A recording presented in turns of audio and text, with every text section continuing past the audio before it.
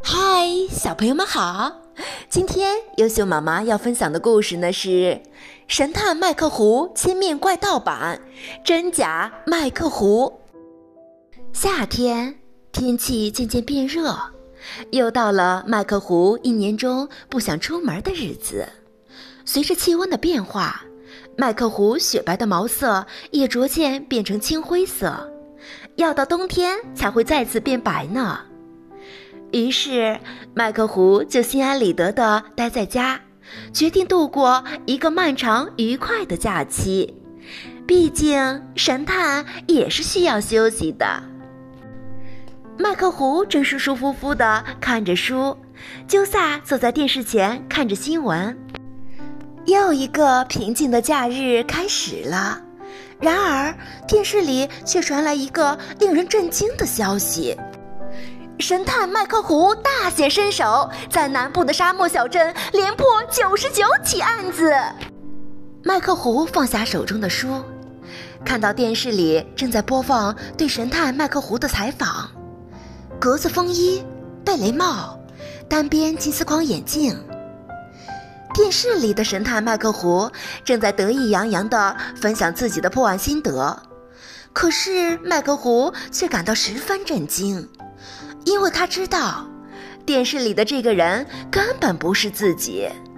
鸠萨被电视里的麦克胡吓了一大跳，手一抖，茶杯飞到天上，然后哐的砸到了自己的头上。但鸠萨却顾不上自己的脑袋，他震惊地望着麦克胡，又疑惑地看向电视，问：“啾啾，这是你吗？”麦克胡摇着头说：“不，鸠萨，这不是我。你看，它的毛色现在还是雪白的，而我们白狐的毛色到了夏天就会变成青灰色。这个人在假冒我。”说完，麦克胡换上了另外一身衣服，穿上全套防晒装备，气势汹汹地出门了。走吧，鸠萨。虽然我很讨厌炎热的地方。但是我们有必要去沙漠小镇见见这个冒牌货。沙漠小镇昨晚下了一整夜久违的大雨，今天在烈日的烘烤下，这里就像一个巨大的蒸笼。生活在寒冷地区的麦克胡和鸠萨难受极了，他们摇着扇子，赶紧来到最繁华的商业街，钻进了开着冷气的商店里。呱！感谢神探麦克胡呱，帮我找回了我的货物呱。虽然没有找到那个可恶的盗贼，但是我相信你呱。对，相信麦克胡。呃，对，相信神探。麦克胡和鸠萨对视一眼，这算是来对地方了。他们凑近一看。一只长着特别像麦克胡的狐狸正站在人群中间接受表扬呢。它也穿着格子风衣，戴着金丝框眼镜，有着雪白的毛色。唯一奇怪的是，这只狐狸戴着手套。只听它开口说道：“谢谢各位信任我，下次一定能抓到那个盗贼。”这就是那只假冒麦克胡的狐狸。鸠萨搂起袖子就要冲上去揭穿他的伪装，可是，一只毛茸茸的爪子却抵在鸠萨圆滚滚的脑袋上，阻止了他。麦克胡揉揉鸠萨的脑袋，低声说：“鸠萨，这件事没有那么简单。”随后，麦克胡做出了让鸠萨震惊不已的行为。只见麦克胡揉揉脸。换上了一个崇拜的笑容，冲了上去，一把握住了假麦克胡的手，说：“天哪，是神探麦克胡，你是我的粉丝！”大家纷纷看向这个冒失的小伙子。“哦哦，不对，我是你的粉丝，我太激动了。”麦克胡假装不好意思地说，而假麦克胡先是一愣。然后从麦克胡的爪子里抽出自己的爪子，啊，卡卡，谢谢你这么支持我。麦克胡继续热情地说：“我想听听你破获这起案子的经过。你的每一次采访我都看过，我就梦想着成为像你一样这样的神探。你可以教我怎么破案吗？麦克胡的话语像连珠炮弹一样射出来，所有人的目光都聚集到假麦克胡身上。大家也很好奇，神探麦克胡这一次是通过什么精妙的推理找到失窃货物的？呃，嘎嘎，假麦克胡咳嗽两声，嗯，那个。呃，破案是很复杂的事情，一时半刻是讲不清楚的。麦克胡闪着星星眼，不依不饶的一把抓住假麦克胡的手腕，说：“我可以花很多天的时间来听课的。我想当侦探，我就想当侦探。”大家听了，纷纷激动的附和道：“对，开讲座，我们也想当侦探。”在众人的目光下，假麦克胡只好咽了一口口水，大声说：“好，明天我就开一个侦探讲座，大家一起来听。”围观的群众纷纷欢呼：“啊，太好了！我们明天一定来。”麦克胡则心满意足地离开了。旅馆里，鸠萨还在生气呢。要知道，神探麦克胡是他最崇拜、最崇拜的人了，怎么能允许别人以麦克胡的名义在外面坑蒙拐骗呢？啾啾，冒充骗人啾！麦克胡却没有生气，他愉快地剥开一根棒棒糖，塞进嘴里，说：“鸠萨，别生气了，明天有件非常重要的工作要交给你呢。”说完，麦克胡把爪子伸向好奇的鸠萨。鸠萨这才看到，麦克胡的爪子上有白色的染料。与此同时，离这里不远的另一栋房子里的人可就不像麦克胡他们那样有闲情逸致了。一只红色的狐狸在家里不停地走来走去，转圈圈，火红的尾巴焦躁地甩动着，嘴里不停地念叨着：“怎么办？怎么办？怎么忽然有人窜出来问问题？要是我被发现是假冒的，该怎么办？”原来这只红狐狸就是假扮麦克狐狸的不法分子麦麦克。这时，房间里传出了另一个声音：“该怎么做就怎么做呗。你看了那个麦克胡那么多案子的视频，随便编两句就行了。别想那么多了，快把这次的工钱给我。”熟悉的声音在背后响起。红狐狸转身一看，一只壁虎懒洋洋地趴在窗户上望着他。红狐狸被吓得往后一摔，惊讶地说：“壁虎小弟，你怎么变样子了？你的身体看起来短了好多。”壁虎小弟听了红狐狸的话，柔软的身躯挺直了，生气地说：“还不是因为那个哇哇老板的仓库，我从头里钻进去之后才发现，货物竟然装在一个铁盒子里，需要仓库两边的传感器上同时有重量才能打开。”红狐狸疑惑地问：“所以呢？”你为什么变短了？壁虎小弟没好气的回答：“所以我就弄断了自己的尾巴，放到另一边的传感器上了。”天哪！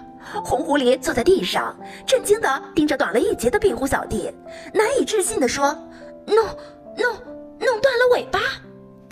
别这么大惊小怪的，我们壁虎的尾巴断了还能再长。麦麦克，别废话了，快把工钱给我。”麦麦克哆哆嗦嗦地把今天哇哇老板给他的破案报酬分了一半给壁虎小弟，壁虎小弟拿了钱就大摇大摆地扭动着离开了。哈哈哈哈哈哈！神探麦麦克，合作愉快，合作愉快呀！神探这两个字传进麦麦克耳朵里，就像针扎一样刺耳，让他难受极了。可是，一切都已经没有回头的余地了。麦麦克打开电视，回放起麦克胡的每一次破案视频，思考着明天的侦探课堂该怎么办。到了第二天，火热的太阳挂在天上，烤的沙漠闪着一片金光。然而，炙热的温度并没有吓退看热闹的人群。会场上人山人海，在哇哇老板的热烈吆喝下，沙漠小镇的所有居民都好奇地来到这里，想要听听传说中的神探麦克胡到底是怎么破案的。麦麦克此时已经装扮成神探麦克胡的样子，戴着贝雷帽，身披格子风衣，戴着金丝框眼镜，一步一步地走上高台。哈哈，大家好，欢迎大家来到我神探麦克胡的侦探课堂。麦麦克有些紧张地说：“大家想知道什么呢？”真正的麦克胡继续装成狂热的粉丝，大声喊道：“我想知道你是怎么找到娃娃老板的货物的。”麦麦克紧张极了，因为他根本不会推理，只是和壁虎小弟串通好了而已呀。于是麦麦克结结巴巴地说：“呃，那那个嘛，呃，就是，呃，我早上在仓库外面发现了一些痕迹，跟着那个痕迹走，就，哦，就就就找到了嘛。也许是盗贼没来得及运走。”哦，麦克胡在台下假装天真的问。可是那晚不是一直在下雨吗？无论留下什么痕迹，都应该被雨水冲没了才是呀。娃娃老板也附和道：“对呀，神探，我确实没看到什么痕迹呀。”正当麦麦克支支吾吾，不知道该怎么解释的时候，从他的头顶上方忽然降下一盆水，哗啦啦，水全浇在了麦麦克身上，他的帽子、衣服和毛发全都被打湿了。如果仔细看，还会看到一些乳白色的液体从他的毛发里流出来。会场一下子乱成一团。麦麦克用湿漉漉的风衣裹紧自己，迅速跑向后台，只留下一句：“我回去换身衣服，马上就回来。”大家你看看我，我看看你。哇哇老板感叹道：“不愧是神探麦克胡，真讲究。天气这么热，要是我的话，才懒得换呢，晒一晒就干了。”只有麦克胡在台下微笑着，他看见鸠萨远远地朝他比了个 OK 的手势，知道一切都准备好了。过了很久，麦麦克都没有出现，人们不由得你一言我一语地讨论起来：怎么回事？麦克胡怎么还不出来？难道是出事了？会场上担心的声音越来越大。麦克胡和鸠萨趁机走进后台，把麦麦克揪上了高台。麦麦克捂着脸，刚站到台上，就引起了一阵哗然。天哪，这是怎么回事？台上麦麦克的毛发看起来硬硬的，而且白色的染料根本盖不住他火红的毛色，麦麦克完全露馅了。麦克胡一把摘下麦麦克头顶的帽子，说：“如果我猜的没错的话，你根本不是神探麦克胡，而是串通盗贼的犯人。”什么？麦克胡这番话引起了轩然大波，大家瞪大了眼睛盯着台上的两只狐狸。麦克胡面向麦麦克继续解释道：“我昨天和你握手的时候，就发现你雪白的毛色不是天然的，而是用染料染成的，所以你才在这么热的天气也要戴上手套，就是怕在接触中留下白色的染料粉末。为了揭穿你，我特意让我的助理在你的燃料里加了白乳胶，白乳胶在干燥之后会变成固体。”这样你就原形毕露了。哇哇老板震惊极了，他大声问道：“呱呱，就算他冒充麦克虎，但他也帮我们找到了这么多被偷的东西呀？”麦克虎摇摇头，叹气道：“你们也看到了，刚才他的表现就证明了他根本不会推理。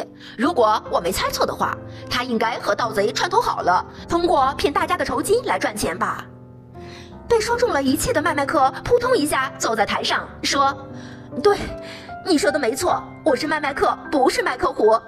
我我的梦想就是想成为像麦克胡那样的大神探，可是我太笨了，只能通过这样的方式得到大家的表扬。不过我以前没有在沙漠小镇见过你，你你刚来怎么就能知道这么多事情呢？”只见麦克胡取下头顶的贝雷帽，金丝框眼镜在阳光下闪闪发光。因为我就是神探麦克胡，任何罪恶都逃不过我的眼睛。就这样，神探麦克胡揭穿了冒充他的假麦克胡，就像他说的那样，任何罪恶都逃不过他的眼睛。对了，在麦麦克的招供下，盗贼壁虎小弟也被送进了监狱。要记住，任何不属于自己的东西，都不要通过不正当的手段获得哟。